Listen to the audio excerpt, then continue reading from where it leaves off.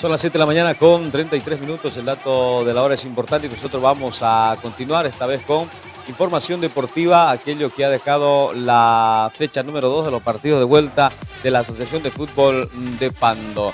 El día sábado arrancaba esta fecha cuando el plantel de Real Bacadíes derrotó por dos tantos contra cero a Rombol y te pasamos a mostrar a continuación el resumen de este compromiso en el Estadio Departamental Roberto Jordán Cuellar el plantel de Real Bacadíes en busca de conseguir las tres unidades para seguir escalando en la tabla de posiciones. Llega Rombol que, bueno, está sumido en el fondo de la tabla de posiciones y que además llega con complicaciones, eh, con algunos jugadores que de pronto no llegan a la hora del partido y que tienen que ingresar con plantel disminuido y eso de alguna manera perjudica para que se pueda desarrollar de la mejor manera y enfrentar al rival de turno. El plantel de Real Bacadíes que llegaba, llevaba la iniciativa el inicio del compromiso. En el primer tiempo se paró bien, pese a tener nueve hombres dentro del campo de juego del plantel de Rombol. Se paró bien en zona defensiva y no, podría, no podía abrir las cifras el plantel de Real Bacadíes, que tenía esta de pelota parada a través de Luis Alejandro Tellería, el balón que se va un tantito desviada. Este en el mano a mano, Cristian Suárez, bien el guardameta, Miguel Ángel Amara, evitando la caída de su arco. Otra llegada del plantel de Real Bacadíes, que si bien se vino con todo en el primer tiempo en busca de abrir el marcador, pero encontró la barrera bien estructurada por parte de Rombol, que se quedó a esperarlo, se quedó atrás y atinaba simplemente al contragolpe. menos 12 jugadores que esto hacía también y marcaba diferencia, pero sin embargo supo pararse bien. Y en el arco estuvo el guardameta Miguel Ángel Amara bien atento para evitar la caída de su arco. Así terminó el primer tiempo 0 a 0 el marcador porque insistía Real Bacadíes y no podía abrir la cifra. En el segundo tiempo no iba a cambiar la misma característica del partido porque llegaba con todo el plantel de Real 10. Como esta y Cristian Hinojosa sacaba el remate, se iba un tanto desviado. El plantel de Rombol que quería reaccionar con los contragolpes esporádicos, sin embargo, llegaba y aparecía el plantel de Real 10. Atención con esta jugada, remate desde fuera del área, apareció Cristian Suárez con la camiseta número 9 para marcar el primer tanto, abrir las cifras en este compromiso que se le complicó al plantel de Real Bacadíes a la hora de poder definir. Ahí está, la peleó el jugador, el delantero, y llegaba para poder pactar el remate larga distancia Cristian Suárez y marcar el primer tanto en el compromiso. Va sumando de a tres. El plantel de Real Vaca 10. Seguía insistiendo en zona ofensiva.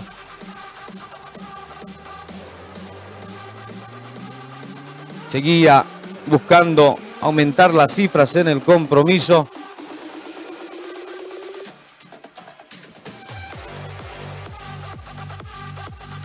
Rombol tenía lo suyo también, se iba con todo en busca de poder conseguir el empate, el gol del descuento.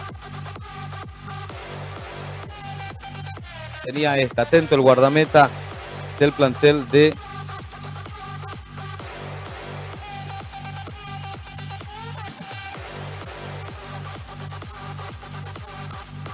Venía con todo el plantel de Real Bacadíes también en busca de aumentar la cifra. Y va a llegar esta jugada el pase para que llegue el delantero y pueda marcar de esta manera. Ante la salida del guardameta, Miguel Ángel Eamara levantaba el balón y se marcaba el 2 a 0 que al final fue el resultado definitivo en el compromiso.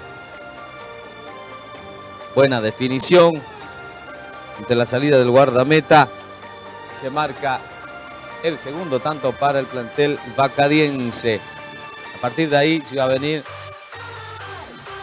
quería abrir, aumentar las cifras del plantel de Real Bacadíes, pero no iba a haber tiempo para más. La conclusión del partido, Real Bacadíes 2, Rombol Fútbol Club 0. El Bacadíes suma tres unidades que son importantes y el plantel Rombol se queda sumido en la tabla de posiciones. Con este resultado de la jornada del día sábado, el plantel de Real Bacadíes ha sumado 18 unidades y el plantel de Rombol se queda en el fondo de la tabla con solo 3 unidades. A ver lo que se venga ya los partidos para este fin de semana. En el partido de fondo el día sábado, el plantel de Astros de Pando se enfrentaba a Mariscal Sucre que llegó con todo y se registró otra goleada en el campeonato. 8 a 0 la victoria del plantel de Mariscal Sucre sobre Astros de Pando. El partido de ida también había ganado con este mismo marcador y se vuelve a repetir el 8 a 0, resultado que también se tuvo en el partido de ida. Vamos inmediatamente a revisar las imágenes de este compromiso. Los equipos ya en cancha.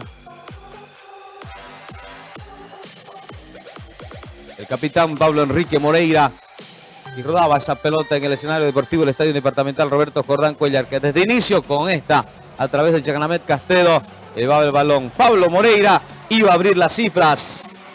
Ahí está el brasileño con pierna izquierda, buena habilitación. Hicieron cerrar espacio los defensores y ahí está Moreira, que no perdona para abrir el marcador y abrir la senda del triunfo también para el plantel de Mariscal Sucre. Le pegó con pierna izquierda, como vería. Pablo Moreira, que además se constituye como el máximo goleador del campeonato con 17 unidades. Con 17 goles marcados. Ahí está Pablo Enrique Moreira, el brasileño que marcó el primer tanto en este compromiso. La celebración, bailecito de por medio, porque no era para menos. Estaba consiguiendo desde muy temprano en el partido la victoria el plantel de Mariscal Sucre. Va a llegar esta jugada, solo llega tres que atacan. Ortiz también llegaba, el defensor, para poder impactar. Iba a tener respuesta el plantel de Astros de Pando de pelota parada. No pasaba a mayores trataba de poder ir al contragolpe el plantel de Astros de Pando. Tenía, jugaba bien, se iba con todo en zona ofensiva la gente de Mariscal Sucre.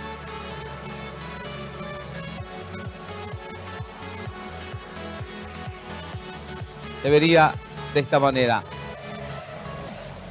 Gran remate y muy buena respuesta de el guardameta del plantel de Astros de Pando.